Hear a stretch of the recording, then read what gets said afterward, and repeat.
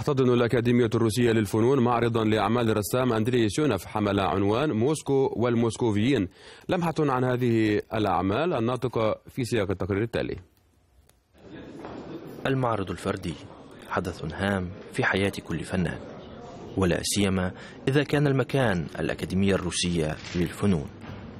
ومع أن أندري سيونوف فنان حر لكنه يعيش هذه الأيام هذا الشعور المقلق والجميل مع أصدقائه. والجمهور الذي أحب أعماله فور دخوله هذه القاعة التي تفيض بعبق الفن على مدى طويل.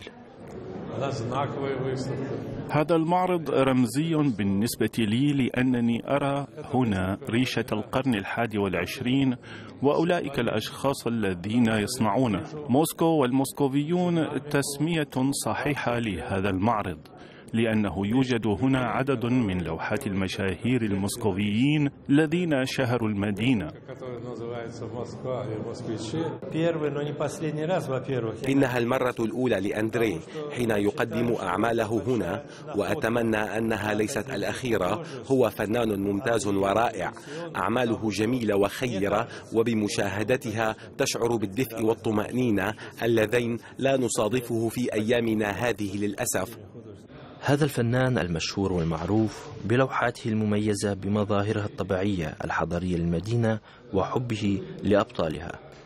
قدم لجمهور الأكاديمية حوالي خمسين عملا يروي فيها رؤيته للمدينة التي أحبها وعشقها منذ فترة طويلة وكنت أحلم برسم ذاك المكان الذي أعيش فيه المدينة التي هي من أجمل المدن في العالم. وبكل سرور كنت أتجول في شوارعها أرسم وأستمتع. أما بالنسبة للشخصيات فقد اخترت أولئك الذين تركوا بصماتهم في هذه المدينة واشتهروا فرسمتهم كما أراهم.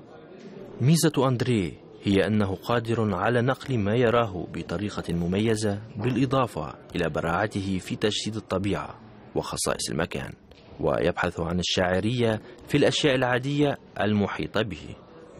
أدونيس هدايا Руселем.